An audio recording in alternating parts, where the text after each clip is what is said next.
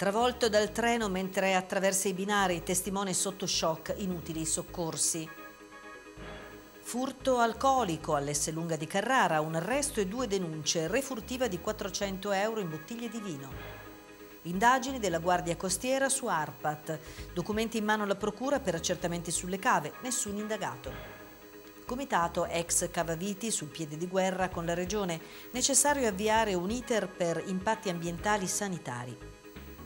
Viaggio sulla linea extraurbana Massa-Forno, l'assessore Guidi ascolta le problematiche dei cittadini. Corsi per dipendenti comunali, l'architetto Giorgi suggerisce al sindaco Persiani di istruire i dirigenti.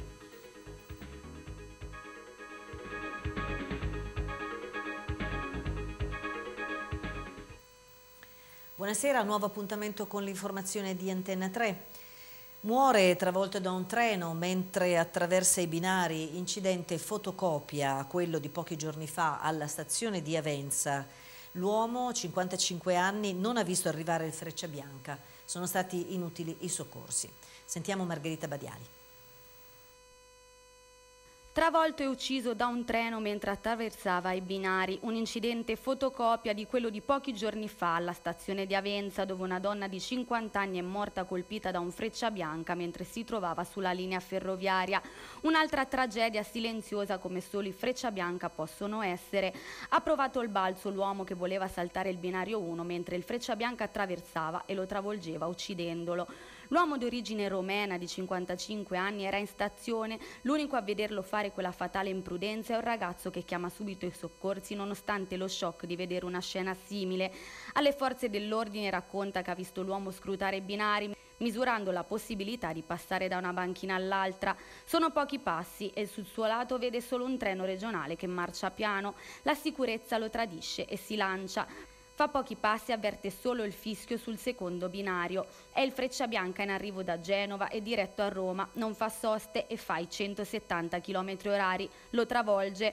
L'uomo viene sbalzato sulla banchina del secondo binario mentre il treno comincia una frenata che lo farà arrestare 200 metri dal punto dell'impatto. Dal treno regionale scende subito un medico che capisce cosa è successo ma non c'è niente da fare. L'uomo è morto, quasi un incidente silenzioso. In pochi si accorgono di cosa è successo alla stazione. Alcuni pensano che abbia avuto un malore e solo all'immediato arrivo dei sanitari e della polizia si capisce che è successa una tragedia. La stazione viene sgomberata, resta solo il testimone, pallido, sconvolto, non sa cosa facesse l'uomo, sembrava aspettare un treno. Viveva in provincia di Pisa, a Cascina. Ha attraversato come chi ha paura di perdere la coincidenza a pochi metri, il sottopassaggio, una garanzia per la vita, questa un'altra morte sotto un treno per imprudenza. È stato trovato morto questa mattina un 79enne originario di Fivizzano in foce di Pianza sul Monte Sagro. L'uomo ha perso la vita dopo essere precipitato nel vuoto per diversi metri. Stando alle prime ricostruzioni, la vittima, in compagnia di un suo amico, stava raccogliendo delle erbe aromatiche quando è scivolato su un sentiero particolarmente accidentato, cadendo poi nel dirupo sottostante. A nulla sono valsi soccorsi di carabinieri e soccorso alpino del 118 prestati all'uomo che è deceduto sul colpo. La salma, recuperata grazie all'intervento dell'elisoccorso Pegaso, è stata posta a disposizione dell'autorità giudiziaria. Sono state rubate bottiglie di vino all'Esselunga di Carrara, una refurtiva alcolica che è costata un arresto e due denunce dai carabinieri. La cronaca. Un furto avvinazzato, quello messo in piedi da due donne all'Esselunga di Turigliano a Carrara, sono state sorprese in flagranza di reato dai carabinieri martedì pomeriggio mentre si recavano all'uscita del supermercato con due borse piene di bottiglie di vino che non erano passate dalle casse. Le ladre, notate fin da subito dagli addetti alla sicurezza dell'esercizio commerciale, sono riuscite a fare solo 100 metri per allontanarsi dal luogo del furto per poi essere bloccate dai militari. Una refurtiva del tutto alcolica, le due donne avevano nelle borse 14 bottiglie di vino molto pregiato del valore di 400 euro. Una delle due fermate, 26enne, già nota alle forze dell'ordine di origine albanese ma residente a Montignoso, è stata arrestata, mentre per l'altra, una minorenne originaria di Trento, è scattata la denuncia in stato di libertà. A seguito di successivi accertamenti è stato individuato e identificato anche il palo, si tratta di un 31enne pregiudicato residente a Montignoso, anche quest'ultimo è stato deferito all'autorità giudiziaria. Per tutti l'accusa è di furto aggravato in concorso. L'arrestata è stata messa agli arresti domiciliari presso la propria abitazione. La misura coercitiva è stata altresì confermata dal giudice del Tribunale di Massa a seguito dell'udienza di convalida. La donna rimarrà agli arresti domiciliari fino al processo. Indagini della Guardia Costiera ad Arpat, acquisiti alcuni documenti da parte della Procura per accertamenti sulle cave. Al momento non risultano persone indagate. I mezzi della Guardia Costiera fermi davanti alla sede di Arpat in via del Patriota a Massa, un'indagine in corso condotta insieme ai carabinieri alla ricerca di alcune possibili irregolarità in alcuni documenti. Al momento le bocche sono cucite, non ci sono notizie di eventuali iscrizioni di dipendenti o altre persone nel registro degli indagati. Durante la mattina di ieri è andata avanti la ricerca di alcuni documenti, carte, autorizzazioni all'interno degli uffici dell'Agenzia regionale per la protezione ambientale e pare che quel che si cerchi dalla Procura siano documenti che riguardano questioni concernenti le cave. Secondo le fonti tutto dovrebbe essere partito circa alcune segnalazioni arrivate in procura riguardo di pratiche poco corrette nella gestione degli scarichi industriali, insomma di problemi di sversamenti dei residui dell'attività gestito in maniera poco corretta e di un problema inerente ai controlli. Non si sa però se l'attività di indagine coinvolge anche l'operato di ARPAT o se si tratta semplicemente di un accertamento riguardo a certi documenti in possesso dall'Agenzia. Quel che è certo è che i controlli delle forze dell'ordine sono andati avanti per un certo tempo con il recupero di una discreta quantità di documenti conservati negli archivi, ma sul resto, vista l'attività di indagine in corso, c'è il più stretto riservo da parte degli inquirenti. Il procuratore Aldo Giubilaro smentisce anche lui la presenza di indagati a seguito dell'attività di indagine predisposta.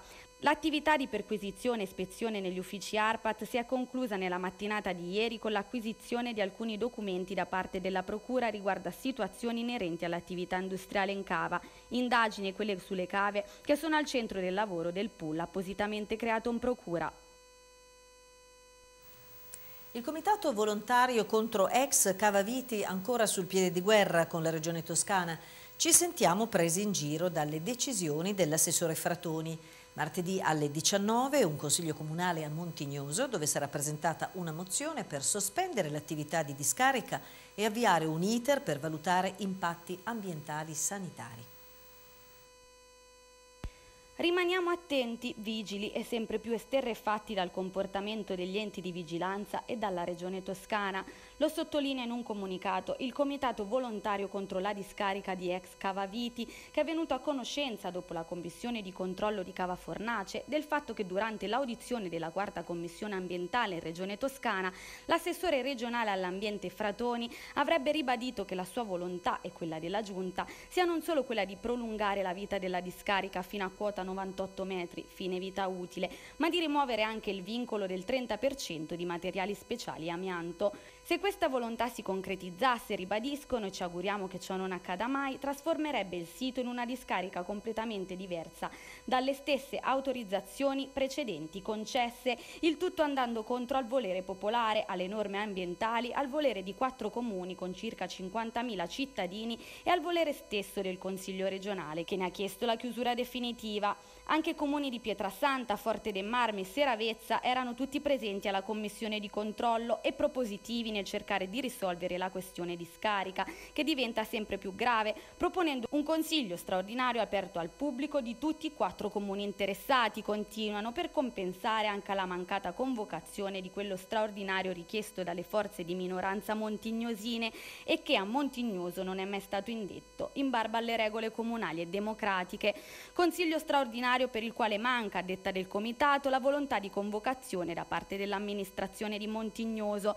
Sarebbe solo un attacco politico alla Giunta, dice ancora il Comitato, quindi anziché adoperarsi per cercare di risolvere il problema, si preferisce non discuterne minimamente. La Commissione comunque sembra incline a chiedere una sospensione cautelativa dei conferimenti, anche in virtù del fatto che ad oggi mancano ancora le fideussioni obbligatorie ad avviare l'iter di richiesta del parere igienico sanitario e ha evidenziato la necessità necessità di fare misurazioni e analisi aggiuntive, dato che anche quelle di ARPAT continuano ad essere poco chiare. Mentre la Versiglia e Montignoso si avviano ad essere una nuova terra dei fuochi, concludono, viste le incidenze tumorali in aumento, qui si tergiversa e si prende tempo nell'aspettare delle soluzioni che la regione toscana non vuole emettere perché è palese che l'interesse di pochi è superiore a quello di cittadini e del buon senso. Il comitato contro ex Cavaviti invita tutti a partecipare al Consiglio Comunale di Montignoso che si terrà martedì 31 luglio alle ore 19 dove verrà discussa una mozione della minoranza in prima firma del consigliere Paolo Lenzetti del Movimento 5 Stelle che chiederà la sospensione dell'attività finché la Regione non avvii un iter per valutare l'incidenza ambientale e sanitaria dell'impianto di discarica prima di qualsiasi atto o nulla osta regionale. Aumentano i controlli effettuati dal Consorzio di Bonifica 1 Toscana Nord. Quattro nuovi guardiani idraulici vigileranno su manufatti non autorizzati, prelievi d'acqua non concessionati e scarichi abusivi. I dettagli da Elisabetta Guenzi.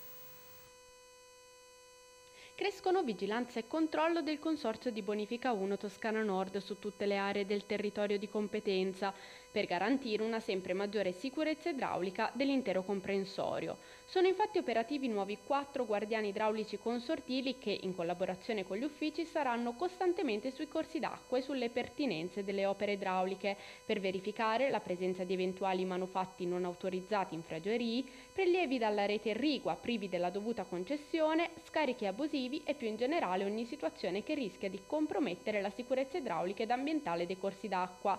I quattro nuovi dipendenti tecnici, comunica il Consorzio di Bonifica, saranno costantemente sul territorio, ciascuno in un'area del comprensorio, Versilia, Lunigiana, Massa Carrara e Montignoso, Lucca, Piana Lucchese e area del Bientinese. La squadra consortile è oggi più forte e operativa sul territorio, commenta il presidente del Consorzio Ismaele Ridolfi. Grazie a questi nuovi ingressi, infatti, avremo la possibilità concreta di essere maggiormente presenti lungo i corsi d'acqua e così, aggiunge il presidente, potenzieremo le nostre principali attività, sia quella relativa alla sicurezza idraulica sia l'impegno inerente all'irrigazione. La necessità di aumentare i controlli sulla distribuzione d'acqua, campi e colture era stata evidenziata più volte, spiega Ridolfi, anche dalle associazioni agricole. Inoltre, precisa il Presidente, che ha bisogno di prelevare acqua dai corsi d'acqua per l'irrigazione o per realizzare attraversamenti o coperture su corsi d'acqua nelle aree di pertinenza del RI, deve richiedere agli uffici consortili la necessaria concessione. I nuovi guardiani idraulici si occuperanno proprio di dar vita ad ancora più puntuali controlli in merito e questo, conclude il Presidente, è importante anche per una maggiore equità contributiva. Anche a Massa la produzione e lo smaltimento di rifiuti praticati non è più sostenibile. Le recenti dichiarazioni dei lavoratori ASMIU lo dimostrano, vengono sprecate troppe risorse, viene consumato troppo suolo, viene generato troppo inquinamento, vengono spesi troppi soldi dei cittadini che potrebbero essere impiegati altrove. Questo è il monito di Maurizio Bonugli di Area 2018, secondo cui occorre praticare l'obiettivo dei rifiuti zero con scelte amministrative coerenti e continuative. Area 2018 propone che la raccolta differenziata porta a porta sia estesa a tutto il comune. Chiedono l'introduzione della tariffazione puntuale che premia chi produce meno rifiuti e incentivi per diminuire la produzione di rifiuti alla fonte. Inoltre, così facendo, si ridurrebbe anche il peso della Tari che al momento resta fra i più alti della Toscana. Area 2018 propone inoltre il potenziamento della ricicleria e del servizio di ritiro degli ingombranti a domicilio e di tutti i servizi di ASMIO a partire dalla pulizia, spazzamento, disinfezione, disinfestazione di strade, piazze e spazi pubblici in tutta la città, dalla montagna al mare, per garantire il massimo decoro urbano. Sul problema della raccolta e dello smaltimento dei rifiuti urbani la nuova amministrazione è chiamata a dare risposte, a proporre nuove strategie per fare di Asmio una municipalizzata all'avanguardia. Il problema sanitario in estate si fa sempre più delicato, a constatarlo è il sindacato CISL, secondo cui il pronto soccorso dell'ospedale non sarebbe in grado di rispondere alle esigenze sanitarie a causa anche del poco personale. Il sindacato ricorda che con la legge Fornero il 20% di medici e infermieri non è stato rimpiazzato da nuove assunzioni, una situazione che per la CISL è destinata ad aggravarsi. Nei giorni scorsi inoltre, continua la CISL, la Regione Toscana ha approvato una delibera per affrontare l'altro grande problema sanitario, quello delle liste d'attesa. Adesso, conclude la CISL, vedremo se la soluzione adottata dalla Regione si rivelerà una specie di cura palliativa di un sistema che appena può fugge nel privato, impedendo ai cittadini di fruire appieno del diritto alla salute sancito dalla nostra Carta Costituzionale. Dopo le lettere di denuncia scritte dal sindaco Valettini a RFI sulla situazione di degrado in cui versa la stazione di Aulla, ieri si è tenuto un incontro tra il primo cittadino e Efisio Murgia, il direttore territoriale della produzione Firenze, invitato direttamente a rendersi conto della situazione. Da questo sopralluogo RFI ha deciso di installare videocamere anche all'esterno della stazione, ovvero nel piazzale, che verranno controllate in remoto nel comune di Aulla o dall'Unione dei Comuni, investendo per una maggiore sicurezza per coloro che frequentano le stazioni e la speranza di allontanare una volta per tutti i vandali. Sarà anche installata una sbarra per vietare l'accesso e permanenza ai camper, le chiavi saranno in possesso dei vigili del fuoco e delle pubbliche assistenze per gestire le emergenze. In aggiunta sono stati offerti alcuni locali in utilizzo alla protezione civile, riaprirà anche il bar che contribuirà anche ad eliminare problemi di criminalità e vandalismo che si sono registrati in questo periodo in assenza di attività. Apprezzata dal sindaco e dall'amministrazione la visita di Murgia e le decisioni prese in merito per far rinascere un servizio cruciale per la cittadinanza aullese e per tutti i lunigenesi. Parliamo adesso di un viaggio sulla linea extraurbana Massa-Forno. Per rendersi conto della situazione lamentata dalla cittadinanza, l'assessore Guidi ha preso il bus e ascoltato il lungo elenco di problematiche segnalate dai residenti. Il servizio. Solitamente la corriera è più sporca e va molto più veloce di ora, è ciò che ci raccontano alcuni cittadini nel percorso da Massa a Forno, accompagnati eccezionalmente dall'assessore al trasporto pubblico Marco Guidi e da alcuni rappresentanti di Fratelli d'Italia. L'elenco di ciò che non va è lungo, bus sporchi, rotti, vecchi, la strada dissestata e con macchine parcheggiate ai lati della strada, rincari negli abbonamenti. Siamo passati per il percorso Forno Marina di Massa da 39 a 51 euro di abbonamento abbonamento, lamentano i residenti, e servono due biglietti se vogliamo andare al mare. I cittadini hanno avviato anche una raccolta firme. Ecco allora che l'assessore ha voluto verificare con i propri occhi cosa c'è che non funziona. Ci sono problematiche anche di, eh, di collegamento con eh, la zona di, di Forno, stamattina mi sono voluto rendere conto uh, di come funziona il collegamento, quindi ho preso apposta la, la corriera con i cittadini, i quali mi hanno raccontato di, eh, e ho potuto constatare mezzi obsoleti, vecchi, uh, sporchi, problematiche di orario, mentre probabilmente il collegamento alle, a Forno, ma a tutte le zone della montagna, potrebbe essere già un primo passo per far rivivere la zona della montagna. Chiaramente là dove manca un collegamento non puoi portare neanche su persone, non puoi portare turismo. Abbiamo sempre detto che la montagna deve essere un portale per il turismo, deve rilanciare il turismo, bisogna partire dai collegamenti. Nei prossimi giorni incontrerò e chiederò un incontro ai vertici di CTT, quelli che gestiscono quindi il servizio pubblico, perché mi dovranno dare delle risposte concrete sulle problematiche che mi hanno segnalato i cittadini, ma anche poi gli operatori che quotidianamente lavorano, quindi gli autisti. Eh, chiederò un incontro e dovremo avere un tavolo con loro e poi eventualmente con la Regione. Nel frattempo l'assessore Guidi, dopo aver incontrato la cittadinanza, sta ricevendo i sindacati di categorie. La prossima settimana ascolterà i vertici del CTT per riferire le problematiche e studiare insieme soluzioni. Ma del trasporto pubblico Fratelli d'Italia se ne era già occupata in passato. A breve eh, incontreremo i vertici del CTT al quale chiederemo intanto di fare un giro come abbiamo fatto noi stamani sulle corriere e vedere la, la fatiscenza e lo schifo in cui eh, le persone fanno questi viaggi, viaggi della speranza al caldo e tra le rovine, eh, rischiando di prendere delle infezioni oggettivamente. Intanto di fare questo, forse prendere atto eh, visivamente e fisicamente di una situazione eh, e poi di capire che le frazioni montane vivono un disagio e quindi di abbassare questi prezzi, di darci delle corriere, degli autobus, delle macchine eh, dignitose e nuove, come ci sono in giro per la Toscana peraltro, eh, e quindi di abbassare gli abbonamenti che sono comunque rincarati nonostante quello che dicono.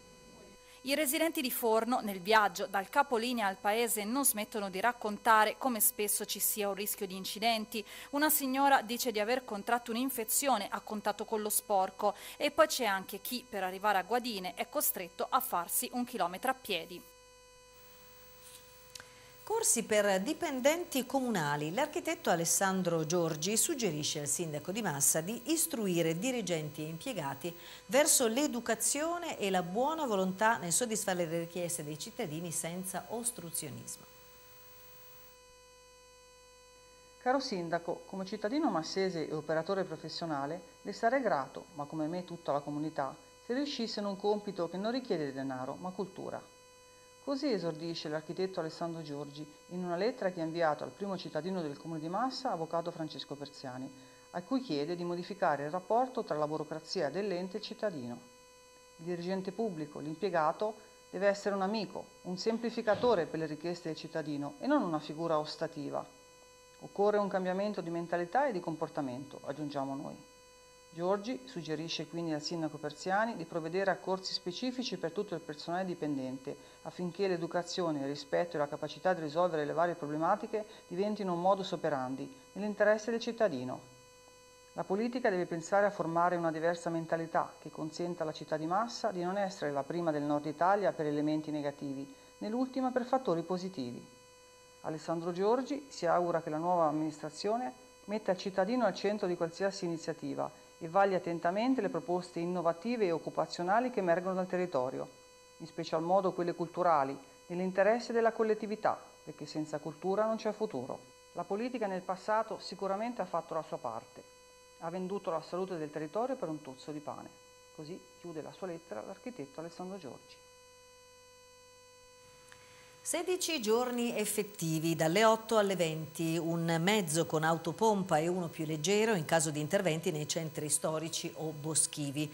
5 operatori professionali. Questi sono i numeri del distaccamento estivo dei Vigili del Fuoco che è stato inaugurato questa mattina nelle scuole medie di Via Martini a Pontremoli. Come l'anno scorso anche per quest'estate il Comando Provinciale dei Vigili del Fuoco tramite una convenzione firmata dal Ministero dell'Interno, dall'Unione dei Comuni Montana Lunigiana e dai comuni di Pontremoli, Bagnone, Filattiera, Mulazzo, Tresana, Villafranca e Zeri, si è insediato con una squadra del tutto operativa all'interno di una sede distaccata in via Martiri della Libertà, nel cuore del comune di Pontremoli.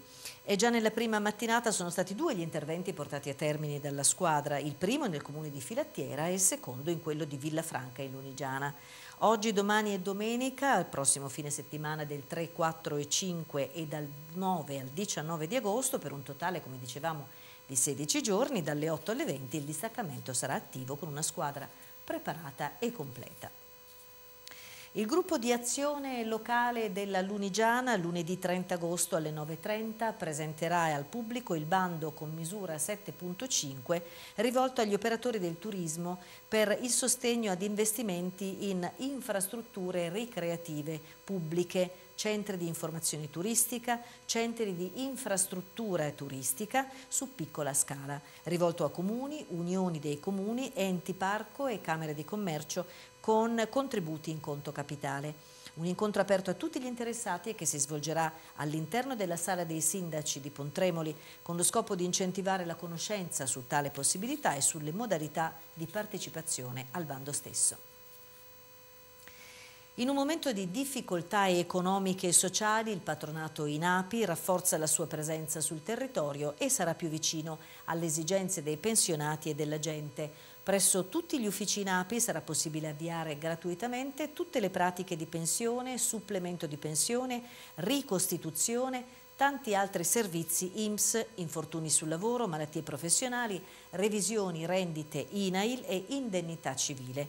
Inoltre, dove il patronato INAPI è attivo, anche il CAF FENAPI per espletare tutte le pratiche necessarie ai cittadini.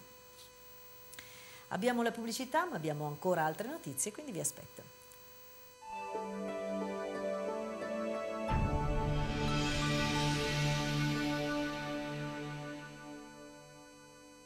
MB Garden. È l'emozione di vivere la natura, la progettazione fotografica dei vostri spazi verdi, dal parco con piante olivi secolari al piccolo giardino.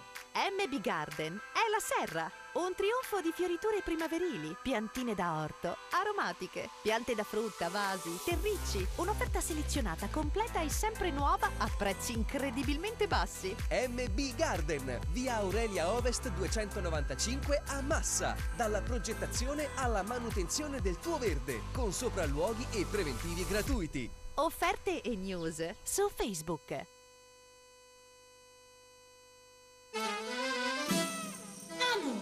Ci sono mille cose da fare prima della festa per zia Pina e tu sei sempre lì con quel tablet. Piante da sistemare, muri da tinteggiare, la parabola da montare. Già fatto! E come? Noleggiando tutta l'attrezzatura da Italnolo. Resta solo la festa. Fatto anche questo. Ora manca solo zia Pina. L'hanno già noleggiata. Tutti possono rivolgersi a Italnolo.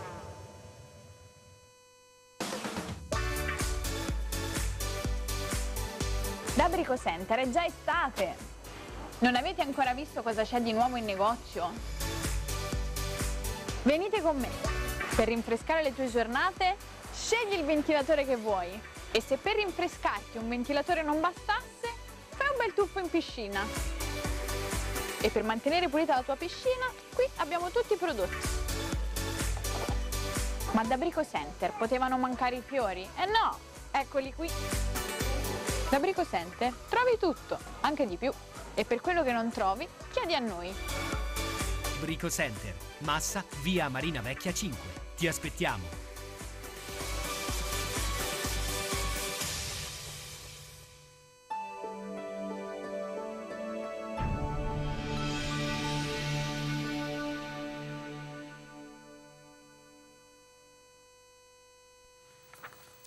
È stata pubblicata la graduatoria provvisoria degli ammessi, unitamente all'elenco degli esclusi, al bando di concorso per l'erogazione dei contributi di integrazione al canone di locazione per l'anno 2018. Contro la graduatoria provvisoria è possibile presentare ricorso facendo pervenire la propria opposizione al Comune di Carrara entro e non oltre il prossimo 10 agosto, utilizzando il modulo scaricabile del sito del Comune di Carrara dove sono consultabili anche la graduatoria degli ammessi e l'elenco degli esclusi. Per avere ulteriori informazioni gli interessati potranno rivolgersi all'Ufficio Servizi Abitativi, aperto il lunedì, mercoledì e venerdì dalle 8.30 alle 12.30 e il martedì dalle 15 alle 17. È tutto pronto per la stagione degli eventi estivi alla Caravella di Marina di Carrara, un luogo caro ai carraresi che torna a vivere dopo anni di inattività grazie ad un intervento di recupero che è stato effettuato dal Comune di Carrara. Parte questa sera la stagione degli eventi alla Caravella. Dopo decenni di degrado e inattività, questo spazio nel cuore di Marina di Carrara torna a vivere grazie ad un importante intervento di recupero voluto e realizzato dall'amministrazione comunale. Il primo appuntamento in programma è La Voce nel Sociale, una serata di solidarietà e divertimento organizzata da CESVOT che si aprirà alle 21.15. Nelle giornate successive si terranno una serie di eventi curati da Proloco di Marina di Carrara per un totale di 5 serate. Per completare la stagione la l'amministrazione comunale di Carrara ha aperto un bando per l'organizzazione di altre iniziative. Numerose le candidature arrivate con proposte variegate sul piano dell'intrattenimento e dell'offerta culturale. Il vincitore della selezione, fa sapere l'amministrazione, troverà un'area di pubblico spettacolo a norma completamente riqualificata, dotata di bidoni per la raccolta differenziata, con il vialetto d'ingresso ristrutturato, un nuovo impianto elettrico e il palco già allestito, oltre alla fornitura elettrica gratuita interamente a carico del comune. A partire partire da lunedì inoltre la riqualificazione sarà completata con l'attivazione del bagno accessibile ai disabili.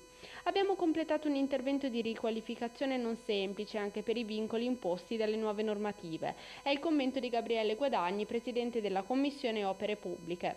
Dopo tanto tempo, aggiunge, stiamo restituendo alla città un'area che in passato ha avuto un ruolo centrale per il tempo libero dei carraresi. Altrettanto soddisfatto è l'assessore Andrea Raggi. La caravella sarà il fulcro del progetto di riqualificazione complessiva del litorale che, oltre alle opere previste dal progetto Waterfront, conclude, prevede interventi anche a ponente su tutta l'area di proprietà del comune. È il momento dei vostri auguri.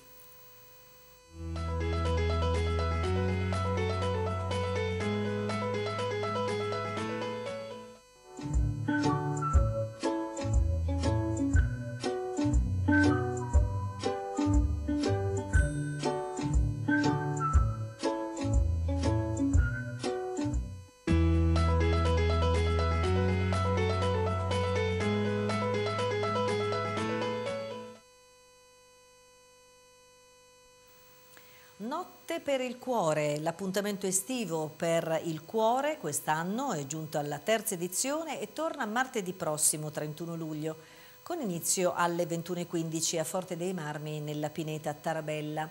L'ingresso è offerta libera, l'organizzazione parte da Massa e tante saranno le persone che parteciperanno a questo evento.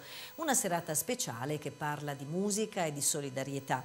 Il ricavato infatti verrà interamente destinato all'ospedale del cuore, l'OPA, di Massa, e servirà per la gestione della struttura che alloggia i genitori dei bambini cardiopatici ricoverati nell'ospedale La Foresteria, gestita dall'associazione Un Cuore, Un Mondo.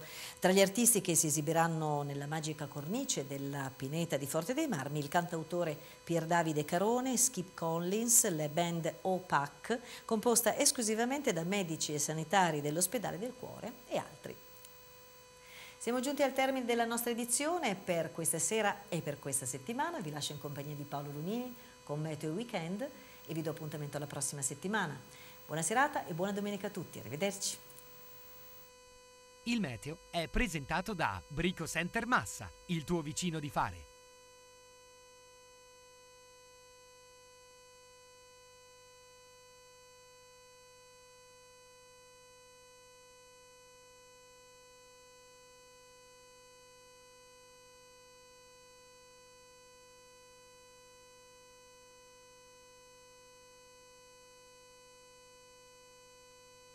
Buonasera e ben ritrovati al consueto appuntamento del fine settimana dedicato alla meteorologia. Gli ultimi giorni hanno visto una variabilità nonostante un campo di alta pressione che si espande sul Mediterraneo e su buona parte dell'Europa occidentale. Perché quindi non abbiamo avuto delle belle giornate di sole, ma anzi abbiamo avuto anche degli episodi di instabilità pomeridiana che hanno interessato soprattutto le zone interne, quindi l'Appennino, le Apuane e la Lunigiana, con dei rovesci e brevi temporali, localmente anche di forte intensità nelle ore pomeridiane. Ebbene, è una situazione che si verifica quando in estate l'alta pressione non è ben strutturata e centrata sull'Italia, ma anzi è defilata troppo a ovest e quindi ehm, permette l'ingresso di infiltrazioni di aria più fresca in alte quote si parla di oltre 10 km di altezza provenienti da est, dalla penisola balcanica, dalla Russia e quindi quest'aria più fresca in quota interagendo con quella più calda già preesistente innesca o comunque favorisce questi episodi di instabilità pomeridiana con i temporali che puntualmente abbiamo sentito rombare eh, in montagna ma con dei sconfinamenti locali anche verso il fondovalle della Lunigiana. Tutto ciò si è tradotto, eh, quindi con la presenza di precipitazioni nelle aree limitrofe, ad avere dei tassi di umidità molto alti. Infatti avrete sicuramente notato che a fronte di temperature che sono rimaste nella media massime di 30-32 gradi, quindi valori tipici di luglio, abbiamo avuto un disagio eh, molto accentuato, quindi un caldo afoso, proprio per i tassi di umidità che sono mantenuti elevati durante tutta la settimana e durante tutto l'arco della giornata. Dando uno sguardo al nostro quadro sinottico notiamo molto bene innanzitutto questa circolazione in quota da est che ruota in senso orario attorno a questa area di alta pressione centrata sulla Russia che ha convogliato nelle scorse giornate, come vi ho detto, questa area più fresca però in alta quota responsabile degli episodi di instabilità pomeridiana. E questo flusso da est è anche stato responsabile di quei forti venti sulla penisola balcanica in generale sull'Egeo che hanno alimentato quei disastrosi incendi, avrete sicuramente visto, TG nazionali che hanno interessato soprattutto la Grecia. Ebbene, vi ho detto però che la situazione è destinata a cambiare. Infatti un promontorio di alta pressione che adesso ancora nella mappa non si vede, ma prossimamente lo vedremo via via consolidarsi sul Mediterraneo, si estenderà dal Nord Africa. Infatti in anteprima diciamo che settimana prossima vedrà una fiammata eh, di alta pressione nordafricana che stabilizzerà innanzitutto il tempo, quindi non avremo più episodi di instabilità, ma al contempo alzerà eh, in maniera significativa la colonnina di Mercurio. Passiamo adesso al dettaglio previsionistico per domenica, una bella giornata di sole, lo vedete anche dalla grafica, un cielo in prevalenza sereno eh, lungo la costa e sulla bassa lunigiana, eh, annuvolamenti di scarsa consistenza potranno formarsi in montagna, soprattutto fra la tarda mattinata ed il pomeriggio, ehm, li ritroveremo più significativi lungo il crenale appenninico, ma con il rischio di rovesci che rimarrà confinato al versante emiliano, quindi non interesserà la nostra provincia. Le temperature saranno in aumento, si farà infatti via via strada quella massa di aria nordafricana che abbiamo detto prima e quindi mh, le massime supereranno diffusamente i 30-32 gradi in pianura e con dei tassi di umidità ancora piuttosto elevati sulla costa, quindi ancora un caldo afoso. Venti deboli o moderati sud-occidentali con rinforzi nelle ore centrali della giornata e mare poco mosso. Dando prima di concludere uno sguardo alla tendenza per i giorni successivi, segnaliamo eh, un periodo stabile e soleggiato grazie all'espansione dell'alta pressione, l'abbiamo detto più di una volta, eh, e quindi almeno fino a giovedì e venerdì, ma probabilmente anche oltre, avremo dei cieli sereni o poco nuvolosi, al più quei consueti annuvolamenti pomeridiani in montagna, specie lunedì, ma senza il rischio di precipitazioni significative. La cosa più ehm, considerevole da segnalare saranno appunto le temperature che aumenteranno fino a portarsi al di sopra delle medie, specie a metà settimana, quindi avremo delle massime in pianura diffusamente oltre i 33-35 gradi a causa di questa rimonta nordafricana.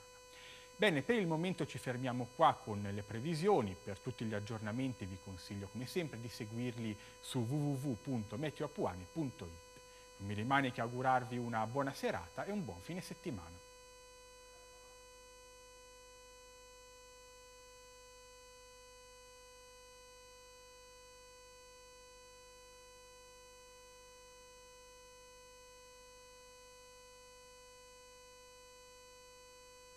Il meteo è stato presentato da Brico Center Massa, il tuo vicino di fare. Via Marina Vecchia 5. Ti aspettiamo!